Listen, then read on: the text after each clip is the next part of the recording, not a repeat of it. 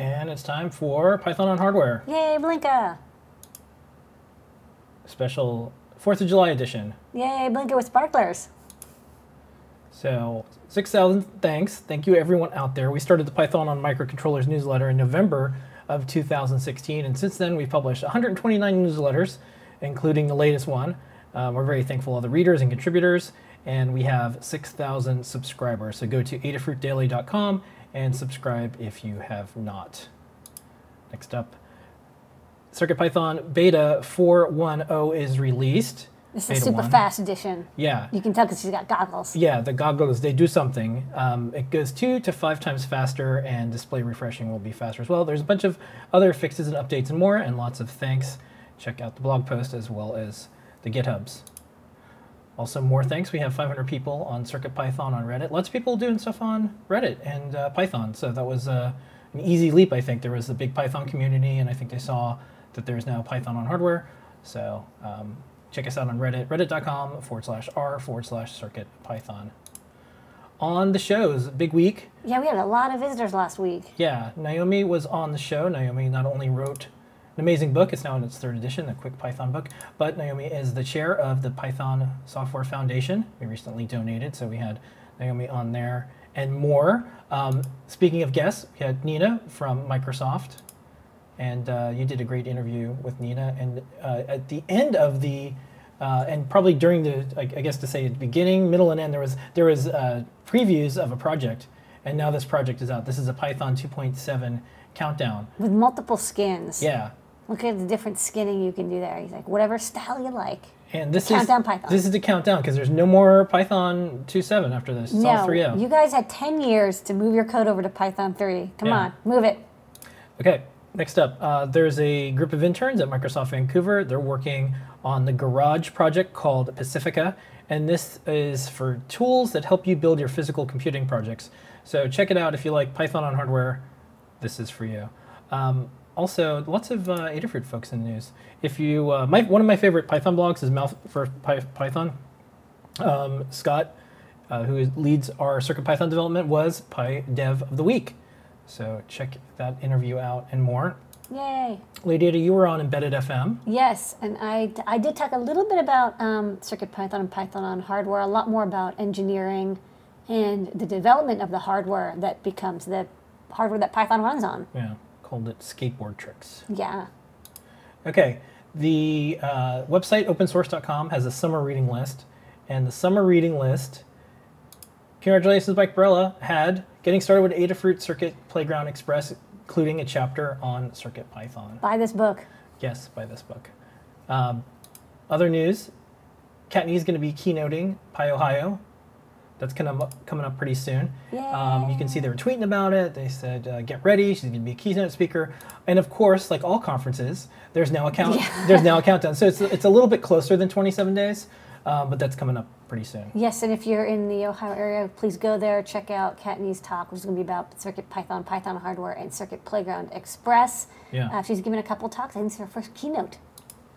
Okay, uh, this is for people who like to do web automation and things like if then this that. Zapier, it's one of the ones that I really like.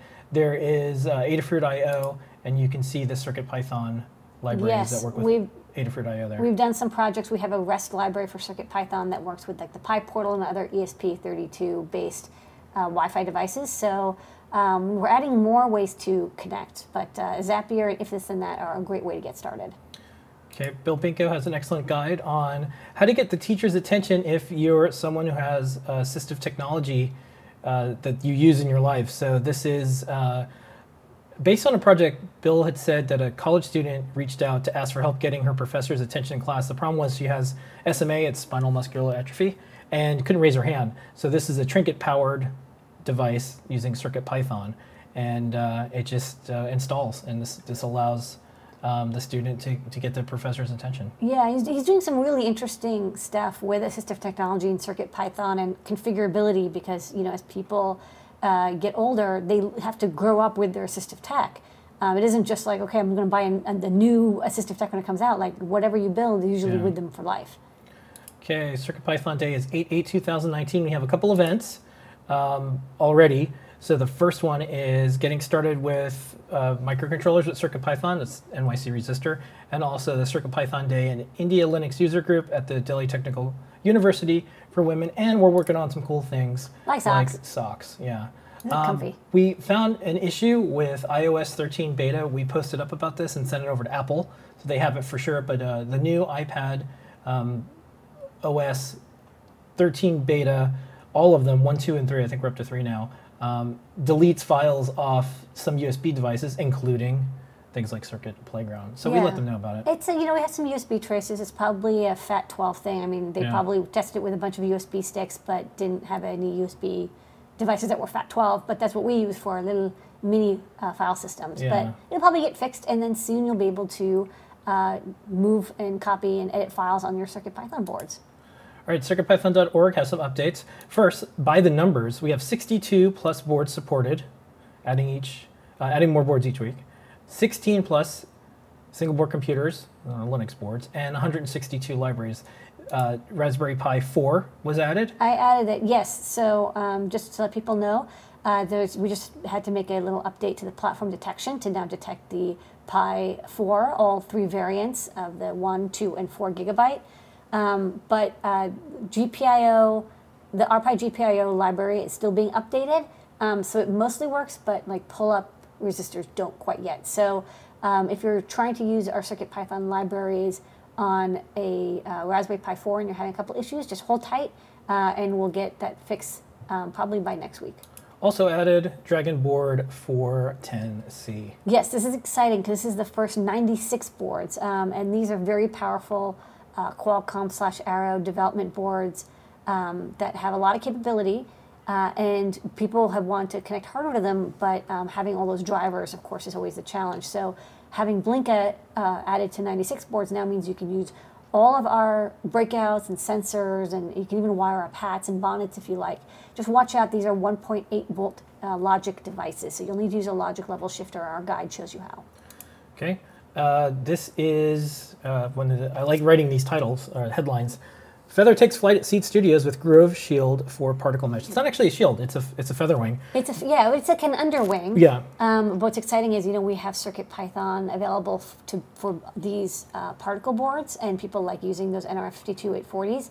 And if you've wanted uh, to use um, any of our feathers with Grove devices, you can now use this feather wing uh, with our Circuit Python library, which we have uh, tons of for our feathers and feather wings. Okay, some stuff from the community. Eric tweeted this. This is Eric's kids. Python for kids and all this Circuit Python hardware. These yeah, are. they're having a I know. fun summer. Wish I was one of these kids. Yeah. Um, and then uh, Richard created a follower and listener account for his wife podcast using a Circuit Python powered PyPortal. And then um, this is neat. I, I tried to get this in the newsletter last week, but I just ran out of time because there was so much stuff going on. Um, this is a little board um, for a soldering and Circuit Python uh, class. This is Yeah. uh, Dorkbot. I like how they. I we. I don't know how they. Uh, we don't have an object for that Circuit Python logo, so they they must have gotten the logo Yeah. and, and converted it and imported it. Just pretty sweet. They So probably used one of the guides that are out there. That's right. Okay. Nice graphics. Yeah, this is from Coding Couple. They got their PyBadge, and uh, they started making little avatars. I like. and. I like this very uh, bit, you know, bitty eight bit um, avatar Yeah. with graphics, and you can see as as the, it's like a hit counter. It's a hit point tracker for their D and D character. They call it Elfgal, yeah. inspired by Doom Guy. I love the the blinking eyes. Okay, this is a preview of some of the gaming stuff that you can do on a PyBadge with CircuitPython. Yeah, we have a guide on using this. This is the uh, stage library by Deshipu, who's uh, been doing some really cool uh, Python, CircuitPython, and MicroPython gaming stuff. So this is um, a demo showing three sprites, these balls that they animate the sprites. They go through a little sprite loop animation, and they bounce on the screen, and there's uh, text that's rendered above them. So um, this library, I think this is based on Display.io now, and shows the kind of animations and graphics. Basic demo, but we're getting towards uh, more gaming and graphics Okay. on uh, Display.io. This is a CircuitPython based string racer. It has a DC motor, uh, end of string sensors with predictive speed distance braking algorithm. This is what um, a previous version looked like, and then this is the upcoming one. This is like hardcore. This is like the most. Yeah. This is like an all-in-one string If you're gonna string race, this is the way You it would be. gotta string race it up. Uh, TG Tech is working on another revision of the Datalore IP M4, an interchangeable circuit Python ready module for soldering onto projects like the Adafruit M0 squeezed into a one inch square. This is not a BlackBerry. It looks like it, maybe even sounds like it. Clack the keyboard. But what this really is, is from Arturo. It's a This- Feather M4. It's the keyboard Featherwing. Yep, and it adds a display. I think it's like a 2.4 inch touchscreen display, uh, four buttons, a keyboard from a Q10 BlackBerry, and they're using Display, and they've already started doing a little um, interface work to. Uh, so you can like type and it displays. You can kind of like write fake emails. So they're kind of making a, a faux berry, but like a featherberry. Yeah. Um, this is interesting for a couple of reasons. This is Snek board, and this is running a SAMD21. I've been following the Snek project for a while. Uh, this is a, a Python-like language uh, that, that runs on boards like ours. Uh, also, CircuitPython runs on some of these. And Keith, who made this, uh, is basically doing this on his own. It's, it's a fully um, completed project now. I think Snek is up to 1.0. And the interesting thing is Keith is, uh, was at HP, and now he just moved to SiFive. So we're going to probably see more people who do lots of Python on hardware for industrial uses. Yeah. Watch risk, out! RISC-V stuff. Watch out, industry! The snakes are coming. yeah. Watch out! You might not want it. You might not need it, but it's coming. Snecking its way. Okay, um, I'll probably have more of this later, but uh, there's an update to Mu. Uh, we'll probably have this in next week's uh, Python on hardware because it just happened when we were recording. Uh, there's a new version of Mu, and it has a bunch of updates, including web mode, and then also instead of it just saying Adafruit boards, it says CircuitPython because there's so many boards so many. besides Adafruit. And check out, it's also got ESP MicroPython support as well. Very popular. So check out the Mu editor. I think it has the file manager built in. So it'll make it easy to upload code uh, to your MicroPython boards running the E ESP 32 or 8266. Yeah, and then uh, this is kind of cool. This is uh, the Pokitto, and there is now an a Python-based IDE, web IDE. Yeah, and that it you can has try. like an emulator too. And this Yeah. is really neat because historically this this gamer, I have one of these, and it's mbed based, which I think is extremely powerful, but is a little challenging uh, for beginners to get the tool chain going and to program in C or C++. So they're embracing uh, Python as a way to write games. Yeah. Okay, Texas Instruments has yet another Python-based calculator. This time they did something interesting. So the first round. This is the Python edition. It even says so. yeah, it says Python edition. Python. The first round had an external. It was basically a trinket running Circuit Python. Yep. Now they're just like, you know what? Let's just put a SAMD. They just put the trinket on the board. So if you look up there, the the two red dot chips, see like above the main chip, there's Yeah. like a to the left. There's kind of an eight pin chip. That's the um, flash, the two megabytes of, of flash or whatever. And then to the right, it's a SAMD 21E18. So it's a trinket M0 basically, and they just plopped it on board. I think. They probably were like, we don't have any space left on the main chip, or maybe the ROM was burned and they can't update it, or, or who knows Yeah. what happened. But it probably ended up just being cheaper to spin a new board de- design and just put a Python coprocessor on there, yeah. which is like, and then, you know, then the main processor can do the UI and, um, you know, handle if like it crashes, the, the Python interpreter crashes, and, and then it can just offload all the scripts and everything uh, to the SAMD21. So kind of fascinating. I want to get one of these because it's so Yeah. cool and weird. Okay, next up, if you want to take some machine learning on the go, here's a portable computer vision project using TensorFlow on a Raspberry Pi. Some events that are coming up pretty soon, EuroPython. Um, it'll be happening next week, and if you're going, guess what you get? Everyone gets one of these. Pew pew. Yeah. Pew, Pew pew badge. So this will be one of the things that all attendees get there. Other events that are coming up, Open Source Summit, August 21st, 23rd. This is PyCon UK, August 13th, sorry, September 13th to 17th. And that's it for our Python on hardware It's a news. bootloading Yeah, it is a bootloader. And that's it for the week. All right, thanks everybody.